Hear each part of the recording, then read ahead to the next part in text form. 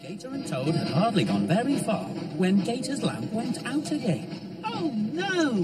What is it, Mr. Gator? Is everything all right? Everything's fine, Toad. It's just my lamp. It's gone out again. Your lamp's gone out? Then you must stop and relight it. It's dangerous to cross the island at night without a light. Yes, I know. But I think there's something wrong with that lamp. It won't stay lit.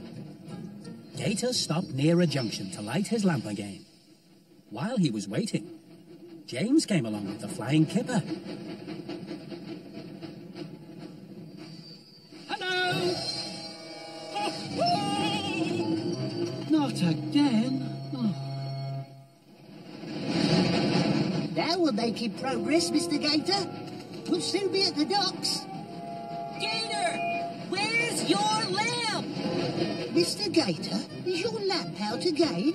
Yes, I mean, no. Oh, okay, yes.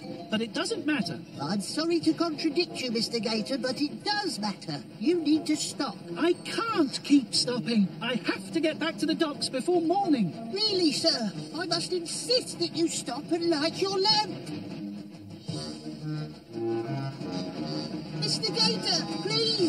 Approaching a junction. This is where the cars come on from the gravel pits. There may be gravel on the tracks. Slow down!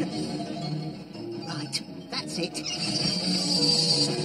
Mr. Gator, if you don't stop, then you'll give me a wheel flat. Thank goodness you've seen the light at last.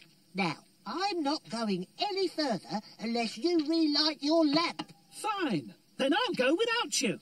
What? It's dangerous to go without a brake van, you know. I know.